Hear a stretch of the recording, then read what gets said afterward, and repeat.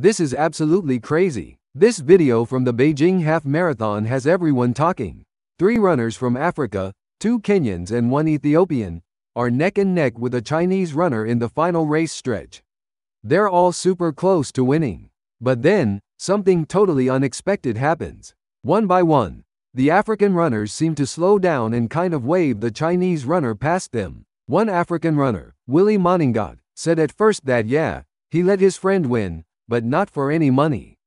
That's nice, but still confusing. Then, just a few hours later, Willy changed his story again. He claims he was just there to help the Chinese runner practice. But wait a minute, his race number looked exactly like the other runners, and it didn't say, pacemaker, on it like it usually does for practice helpers. The race officials are on the case now, trying to figure out what really happened.